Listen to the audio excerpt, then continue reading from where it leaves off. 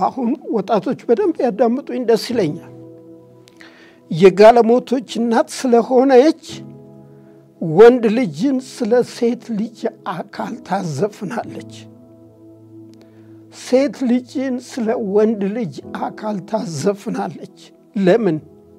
የጋለሞቶች እናት ነኝ ስለምትል የተፈጥሮ እናት ነኝ ደግሞ ስለምትል ስለ ተራራው፣ ሸንተረሩ፣ አበባው፣ ወንዙ፣ ስለ ሰዎች፣ ስለ እነዚህ ሁሉ ታዘፍናለች። እኛ ግን እነዚህን ሁሉ ለፈጠረ አምላክ እንዘምራለን።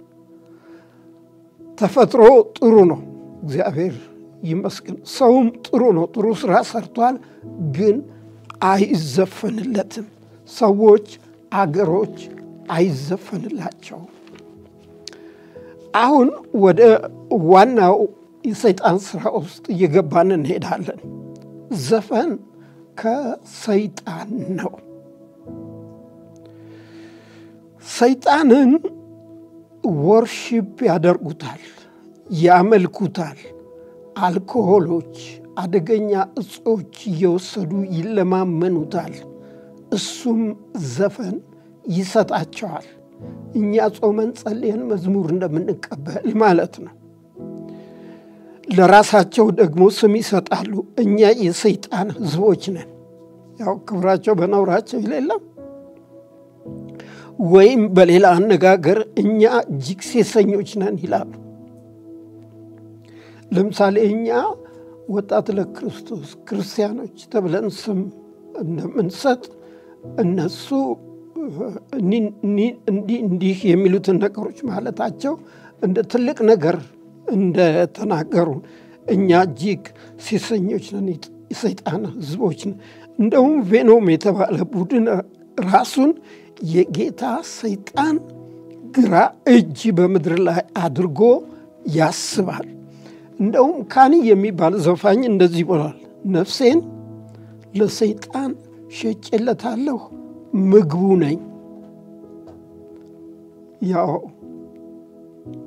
እኛ ለጌታ ራሳችንን ሰውተን እንደምንሰጥ እነሱም ለጌታቸው ለሰይጣን ራሳቸውን ይሰጣሉ።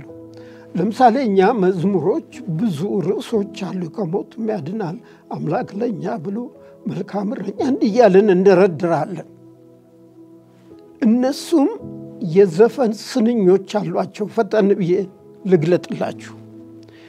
የገሃነም ደወል፣ የአውሬው ቁጥር፣ ወደ ሰይጣን ጩህ፣ ለሰይጣን ድጋፍ ስጥ፣ የክርስቶስ ተቃዋሚ፣ ሞት ለክርስቶስ፣ የሰይጣን ኩባንያ፣ የሮቅ ጭራቆች።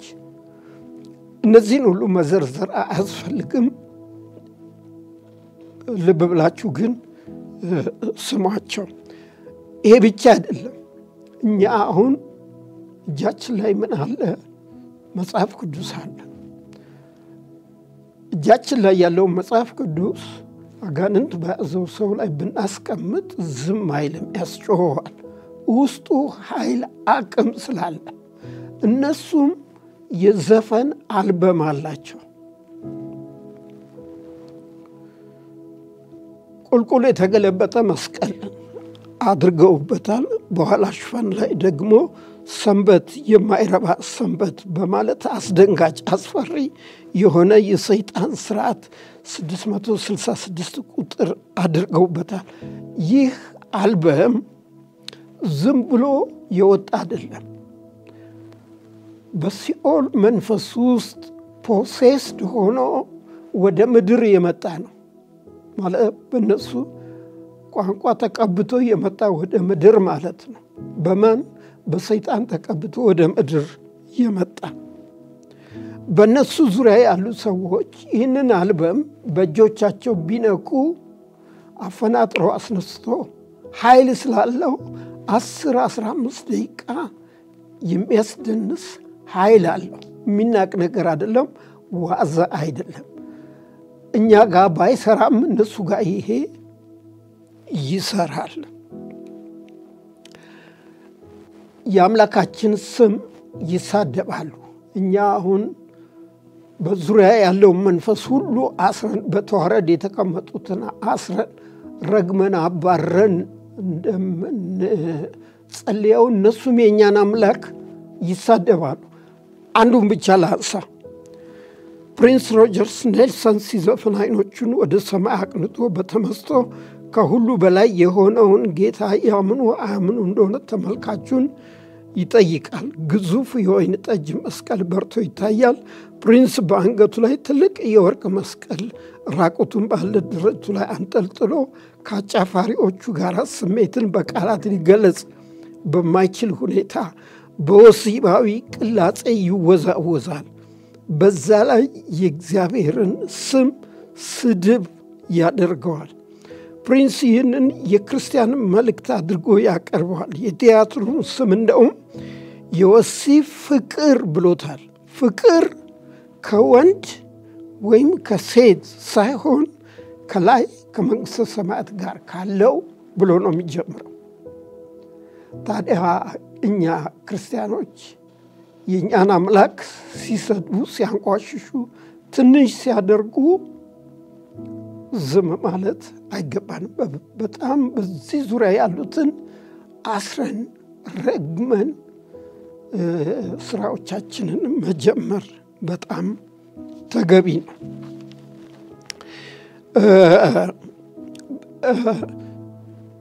ዘፋኞች ያው ሰይጣን በጣም ይጠቀምባቸውና እድሜያቸውን ሳይጨርሱ ቶሎ እድሜያቸው ላይ ነው የሚሻማው። ገና በወጣትነት ሳያመልጡት ቢቆዩ ወይ ጌታን ያገኛሉ። እንደዛ እንዳይሆን እንደወጡ ነው የሚቀሩት። ዘፋኞች በአደጋ በድንገተኛ ሞት በእንዲህ አይነት ነው የሚጨርሳቸው። ቶሎ እንዲሞቱ ይፈልጋል። ይጠቀምባቸውና ይጥላል። እግዚአብሔር አምላካችንን እንደኛ አይነቱን ረጅም ዘመን ተጠቅሞ ያኖራል። ክብር ለእግዚአብሔር ይሁንና እስቲ እንዴት እንዴት አድርጎ የሞቱትን ዘፋኞች ፈጠን ብዬ ቶሎ ቶሎ ላሳያችሁ እፈልጋለሁ። የኃጢአት ደሞዝ ሞት እንደሆነ መጨረሻ ላይ እንድንነጋገር እንዲያመች ሮክ ቡቻይና ባለም የታወቀ ዘፋኝ ጊታር ተጫዋች ስካሩን በማብረድ ላይ እንዳለ ራሱን ሰቅሎ ሞተ። ጃኮ ፖርስቶሪየስ ጃዝና ጊታር ተጫዋች በጣም ከመደብደቡ የተነሳ ስለቆሰለ በዚሁ ሰበብ ሞተ። ሲድ ቬሊየስ የሴት ጓደኛውን ከገደለ በኋላ ሄሮይን የተባለ እጽ በብዛት ተጠቅሞ ሞተ።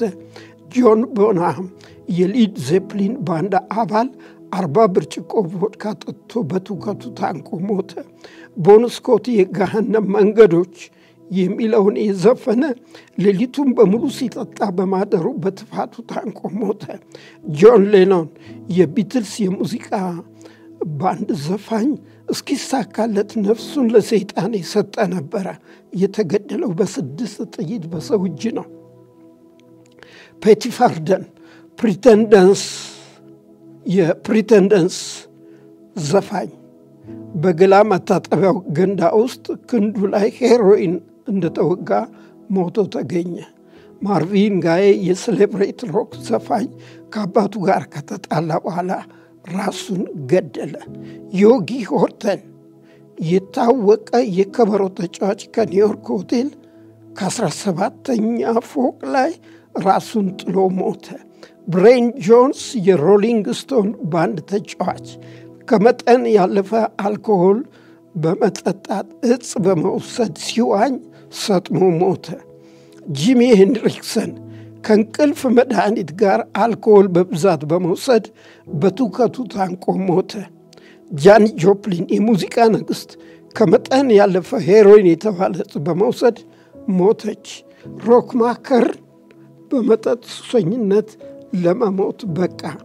ማርክ ቦላን በብላክ ማጂክ አማካኝነት የተሳካለት የቲሬክስ ቡድን መሪ ጊታር ተጫዋች፣ የዘፈን ደራሲ ልዩ በሆነ የመኪና አደጋ ሞተ። ኩዊን ሙስ ራሱን ገደለ። ኤልቪስ ፕሪስሊ ያለ አግባብ ብዛት ያላቸውን መድኃኒቶች በመጠቀም እንዲሁም ከመጠን በላይ በመብላት ለመሞት በቃ። እነ ማይክል ጃክሰንን ቅርብ ጊዜ የሆነውን ታውቃላችሁ። ባፎሜት የሚባል ጣዖት አለው። ዘፈን ይሰጠዋል። ደግሞ መቶ ሀምሳ ዓመት አኖራለሁ አለው። ግን ማይክል ጃክሰን በሀምሳ ዓመቱ ሞተ። እንደነ ቢዮንሴ የሀገራችን ወጣቶች እነ ቢዮንሴን በጣም ይወዳሉ። የእነ ቢዮንሴ ታሪካቸው ትንሽ ለየት ያለ ነው። እሷንም ብጨምር ጥሩ ነው። ጥሩ ዘፋኝ ከመሆኗ በፊት የቤተ ክርስቲያን ዘማሪ ነበረች ቢዮንሴ። እሷ ሞታለች። ባሏ መኪና ውስጥ ነው ያቃጠላት። real ቢዮንሴ አሁን በሕይወት የለችም። አሁን ያለችው ሳሻ ፊርስ ነች። ሳሻ ፊርስ ደግሞ የተወለደችው እኔ Crazy in Love የሚለውን ክሊፕ በሰራው ጊዜ ነው። በዛን ጊዜ ነው በቢዮንሴ መንፈስ የቢዮንሴ መንፈስ ወደ ሳሻ ፊርስ የተላለፈው። ያው መንፈስ ይተላለፋል እና ቃለ መጠይቅ ተደረገላት ሳሻ ፊርስ። ቢዮንሴ በእኔ ውስጥ የምትታየው አለች ስኳኳል፣ ሳነጋግሳት፣ በጣም ስሜቴ ሲነካ ትመጣለች። እሷን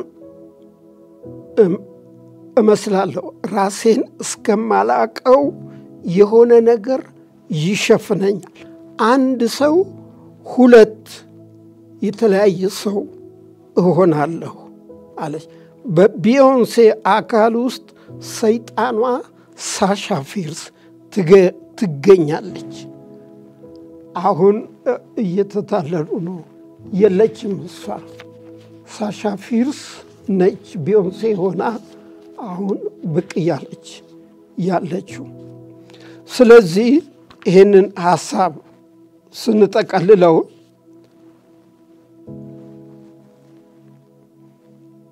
እንዲህ እንዲህ ካደረገ በኋላ የኃጢአት ደመወዝ ሞት ስለሆነ እነዚህ በአፍላ ዕድሜያቸው ላይ ሳይድኑ ሰይጣን ይቀድማቸውና ይገላቸዋል። ደግሞ በሕይወት እያሉ በሕይወት እያሉ ትልቅ ጉዳቶች አሉባቸው። ይህንን የምድራችን ሙዚቀኞችን ቢያዳምጡኝ ደስ ይለኛል። ይህን ጉዳይ ሁለት አይነት ችግሮች አሉ በሕይወት እያሉ እንደውም አንድ ፕሮግራም ላይ አንድ የዩኒቨርሲቲ ፕሮፌሰር psychiatrist የሆነ ሰው ጋራ ሁለታችን እንድናስተምር ተጋበዝን እና ጎን ለጎን ተቀምጠን በእኔ ተራ ጊዜ ይህንን ርዕስ አነሳሁና ይህን ፕሮፌሰር ጠየቅኩት። ፕሮፌሰር እንዲህ ይላሉ የሕክምና ባለሙያዎች ልክ ነው ወይ አልኩት። የጠየቅኩት ይህንን ነው። የጊታር ተደጋጋሚ ጩኸትና የከበሮ ምቶች በቀጥታ በወንዶችና በሴቶች የብልት ሆርሞን የሚፈጥረውን ፔቱታሪ እጢን እንደሚጎዳ አረጋግጠዋል።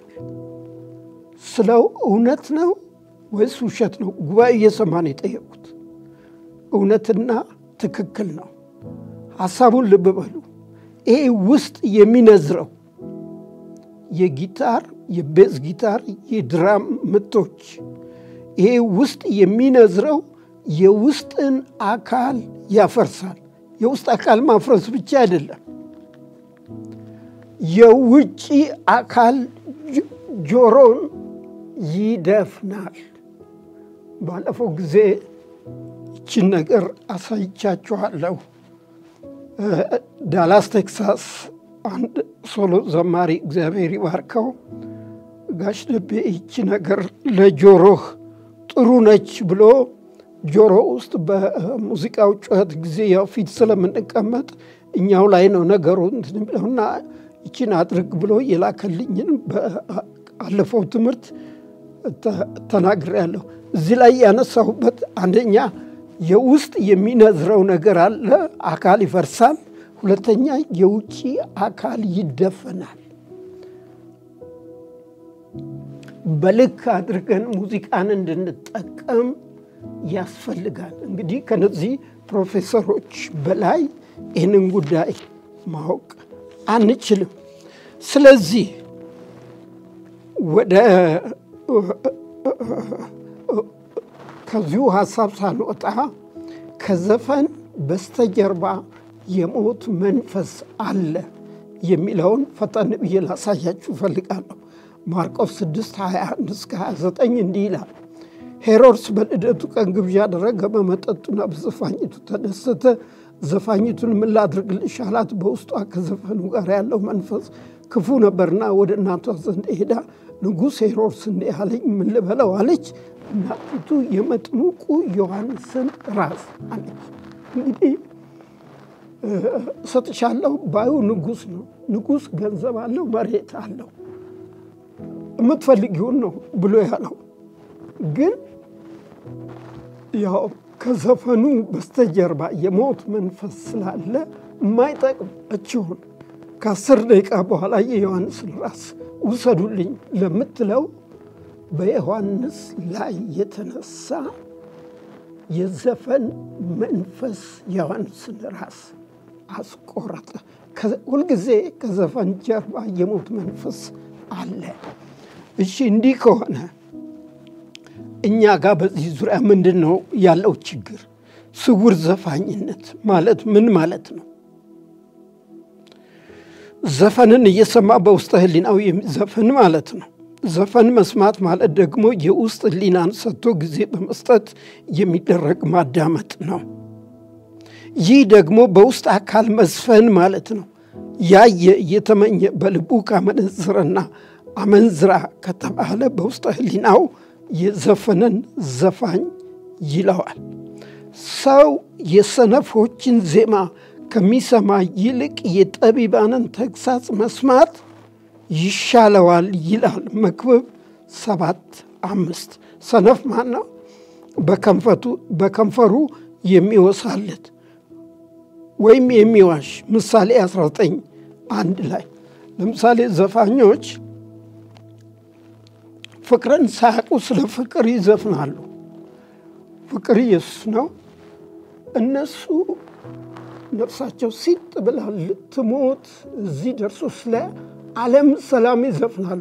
እነሱ እኮ እልም ያለ ሁከት ውስጥ ሆነው ስለ ዓለም ሰላም ይዘፍናሉ። ለዚህ ነው መጽሐፍ ቅዱሳችን ምን ይላቸዋል? በምላሱ የሚዋሽ ዋሹ ይላቸዋል። እኛ ግን እውነት የሆነውን ነገር እናወጣለን። እሺ አሁን ወደ መጨረሻው መጥቻለሁ። ሶስት ጥያቄዎች ጠይቄያችሁ እጨርሳለሁ ይህ ዘፈኑን ትምህርት። አንደኛው ጥያቄ እናንተ ትውልዱ ይህ አሁን የሚሰማው የሚጠይቀኝን ጥያቄ እኔ ጠይቅላችኋለሁ። እናንተን ወክላይ ወክዬ እንዲህ ትላላችሁ፣ ዘፈን መስፈን እንጂ ማዳመጥ ችግር የለውም ትላላችሁ። የመጀመሪያው መልስ ችግር አለው ትንሽ ላብራራው። ጥያቄያችሁ ዘፈን መስፈን እንጂ ማዳመጥ ችግር የለውም። ችግር አለው። ሄሮድስ በሰማው ዘፈን እጅግ ተደሰተ። ያው ሄሮድያዳ ልጇ ሰሎሜን የዘፈነችው ማለት ነው። የመንግስቴን እኩሌታ እሰጥሻለሁ አላት። የዮሐንስን ራስ ያስቆረጠው ሙዚቃ ችሎታ የለውም። በመስማት ብቻ የሰው አንገት አስቆረጠ። የከበረውን ከረከሰው ለይቶ እንድንሰማ ታዘናል። ምን እንድትሰሙ ተጠበቁ ተብለናል። በጣም በአጭር ቃል የምንሰማው ሁሉ ሁሉን ልንሰማ አልተፈቀደም። ምን የምንሰማው ነገር በእኛ ላይ ተጽዕኖ ወደ እንደዚህ አይነት ነገር ሊያመጣ ስለሚችል፣ ሁለተኛ ጥያቄ እንዲህ ትጠይቃላችሁ። ዘፈኑ ምን እንደሚል ቃሉ ካልተሰማ classical ሙዚቃ ቢሰማ ችግር አለው ወይ ትላላችሁ? መልሱ በአጭሩ ችግር አለው። classical ዓለማዊ classical ሙዚቃ አይሰማም። መንፈሳዊ ክላሲካል ልትሰሙ ትችላላችሁ። ምሳሌዎች ልናገር። ኤልሳ ባለበገና አምጡልኝ አለ። ሰውየው መንፈሳዊ ሰው ነው። እጆቹ የተቀቡ ናቸው። ከምድር ውስጥ ውሃ ማፍለቅ የሚችል ነው። ዳዊት በሳኦል ፊት ሲጠራ ዳዊት በተቀቡ ጣቶቹ የሚደረድራቸው ሙዚቃዎች ሳኦል ውስጥ ያለውን መንፈስ ያናግራል። እረፍ ያሳርፈው ነበር፣ ክፉ መንፈስ ከሱ ይርቅ ነበር እያለ ይቀጥላል። በክፉ ሰዎች የሚደረደሩ ሙዚቃዎች እንዲሁ ትልልቅ ተጽዕኖዎች ያመጣሉ። ለምሳሌ እነ ማይክል ጃክሰን አንድ ትልቅ ኮንሰርት ያዘጋጃሉ። ሶስት መቶ አራት መቶ ሺህ ህዝብ ያዘጋጁና ገና እነሱ ሳይወጡ አንድ ዝግጅት ይደረጋል። አምቡላንስ፣ ነርስ፣ ዶክተር ይዘጋጃል። የሚያስከትለውን ውጤት ገና በቅድሚያ ስለሚያውቁ እነ ማይክል ገና አልወጡም። ሙዚቀኞቹ ግን ይወጣሉ። ሙዚቀኞቹ ወጥተው በክፉ ፖሴስድ በሆነ መንፈሳቸውና እጃቸው የሚደረድሩት ሙዚቃ ሰው ውስጥ ትልቅ ተጽዕኖ ይፈጥራል። ከዛ ሰው ይወድቃል፣ ይንፈራፈራል፣ አረፋ ያስደፍቀዋል። ለዚህ ነው ሐኪሙ፣ ነርሱ፣ ዶክተሩ የሚያስፈልገው። በክፉ መንፈስ የሚደረደሩ ሙዚቃዎች ትልቅ ተጽዕኖች ያመጣሉ። በመልካምም መንፈስ የተሞሉ በእግዚአብሔር ሰዎች የሚደረደሩ ሙዚቃዎች ትልልቅ መልካም ነገሮችን ያመጣሉ። ባለፈው ጊዜ ትልልቅ የፈውስ ነገሮች በሙዚቃዎቻቸው እንዳመጡ ያስተማርኩት አለ። እሺ፣ ሶስተኛ እንዲህ ትላላችሁ። ሶስተኛ ማንኛውም ሰው የእግዚአብሔርን ስም እየጠራ ቢዘፍን ያ ዝማሬ ነው። ስለዚህ እንደዚህ አይነቱ ዘፈን ቢሰማ ችግር አለው ወይ? እናንተ ወጣቶች የምጠይቋቸው ከባባድ ጥያቄዎች ናቸው። ልድገመው ይሄንንም ማንኛውም ሰው የእግዚአብሔርን ስም እየጠራ ዘፈኑ ውስጥ ጌታ አምላክ ንጉሥ ኢየሱስ የሚል አለ። ማንኛውም ሰው የእግዚአብሔርን ስም እየጠራ ቢዘፍን ያ ዝማሬ ነው። ስለዚህ እንደዚህ አይነቱ ዘፈን ቢሰማ ችግር አለ ወይ? የመጀመሪያው አዎ ችግር አለው። መልሱ ይሄ ነው። በአጭር ቃል የወጣበት ሰው ነፍስና መንፈስ በእግዚአብሔር ፊት ይፈለጋል። በዳነ ሰው ነው፣ ባመነ ሰው ነው፣ እግዚአብሔርን በሚያከብር ሰው ነው የወጣበት። እንዲሁ የወጣው ነገር ሁሉን እንዲግበሰበስ አይፈልግ። ለምሳሌ አንድ እግዚአብሔር ቤት ውስጥ ማንም ዘማሪ ዕብራውያንን ጠቅሶ አልዘፈነም፣ እንትን አልዘመረም። ግን አንዲት ዘፋኝ ጂጂ የምትባል ካህኔ የነፍሴ አገልጋይ እንቅልፍ አትተኛም ወይ በጣም ትልቅ ሚስጥራዊ ሚስጥራዊ የሆነ ዕብራውያንን ጠቅሳ የዘፈነችው ዘፈን ነው። ግን ይሄ በእግዚአብሔር ፊት አካሉ ነፍሱ በምን አካል በምን ነፍስ ይሄ ወጣ ተቀባይነት በማይኖረው ነገር ከወጣ በእግዚአብሔር ፊት ተቀባይነት የለውም። ስለዚህም ዓለማዊ መዝሙር እንደሌለ ሁሉ መንፈሳዊ ዘፈንም የለም። ስለዚህ የዝማሬን ጩኸት ከኔ ዘንድ እንደውም አርቅ ይላል። እንደውም ይሄ የተነገረው ይሄ ቃል የተነገረው ለቤቱ ነው። በአሞጽ አምስት ሀያ አንድ ላይ ነው የምታገኙት። የዝማሬህን ጩኸት ዘማሪዎችን ነው። ዘማሪዎችን ይህንን ያህል ካለ ዙሪያ ዙሪያውን አትዙሩ። ያላመኑትም እንኳን በኃጢአት ማነው ይቅርታ ያመኑትም ያመኑትም እንኳን በኃጢአት ውስጥ ሆነው መስዋዕት ቢያቀርቡ እንዲህ ብሏል፣ የመስዋዕታችሁ ብዛት ለእኔ ምኔ ነው? የሚቃጠለውን የአውራ በግ ስብ፣ የእንስሳት ስብ ጠግቤያለሁ። በሬ፣ በግ፣ ጠቦት፣ ፍየል ደም ደስ አያሰኘኝም። በፊቴ ለመቅረብ ስትመጡ ይህንን ሁሉ እንዳታመጡ። ላመኑት ነው። የመቅደሴን ደጅ እንድትረግጡ ማን ጠየቃችሁ? ከንቱን መባ አታቅርቡ። ዕጣን እጸየፈዋለሁ፣ መስዋዕታችሁን እጸየፈዋለሁ። ኢሳይያስ 1 ከ11 እስከ 15 ማየት ትችላላቸው። አንዳንዶች ደግሞ ትንሽ ያልወጣላቸው ድነዋል፣ ግን የዘፈኑ ነገር ያልወጣላቸው እንደው ዳርዳር ይላሉ። ቤተ ክርስቲያን ውስጥ እንዲፈቀድላቸው ዙሪያ ዙሪያውን ዙሪያ ዙሪያውን ይዘራ እንደው ስለ ሀገር ብዘፍን፣ ስለ ትምህርት፣ ስለ ሚስቴ፣ ስለ ባሌ ሚስቴን ብዘፍንላት፣ ብዘምርላት እንዲህ እንዲህ ብቻ እንዲህ አይነት ዙሪያ የሚዞሩት ነገር አለ። ይሄ መጽሐፍ ቅዱሳችን ከላይ እንደተናገሩት ቁርጥ ያለ ማያዳክም ነገር ስለተናገረን ለእግዚአብሔር ብቻ እንድንኖር እንድንዘመር ያስፈልጋል። እንግዲህ ይህንን ዘፈኑ ስንጠቀልለው ዘፋኞች የእግዚአብሔርን መንግሥት አይወርሱም። አራት ነጥብ። ገላትያ አምስት ሀያ አንድ የሥጋ ስራ ነው። ብዙ የተዘረዘሩ ውስጥ ዘፈን የሚል ታገኛላችሁ። የሥጋ ስራ ነው።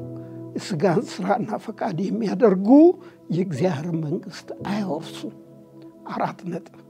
ስለዚህ ከስልጣኔ ከእድገት የተነሳ ወደ መሻሻል መጣን ብላችሁ ወጣቶች በነዚህ ዙሪያ ስተት ባትሰሩ ጥሩ ጥሩ ያልተጠገቡ ዝማሬዎች ቤታችን አሉ። እነሱን እንስማ። እግዚአብሔር ይባርካችሁ። ጨርሻለሁ።